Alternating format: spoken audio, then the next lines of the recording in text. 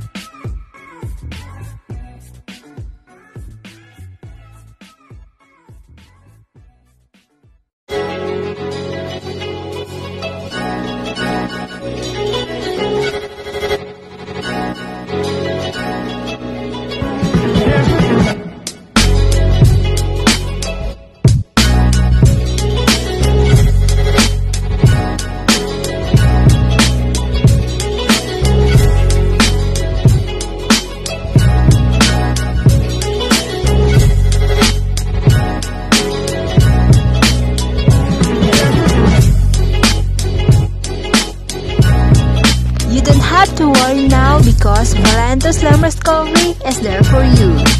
It will burn your calories, maintain your focus, improves your energy, and as well as regulate your blood sugar.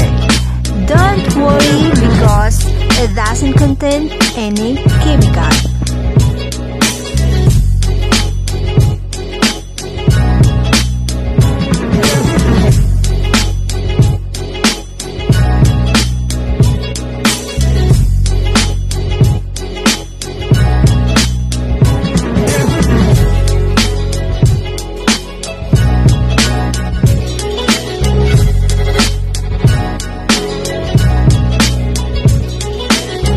Are new to this channel, please subscribe and hit the notification bell for more updates.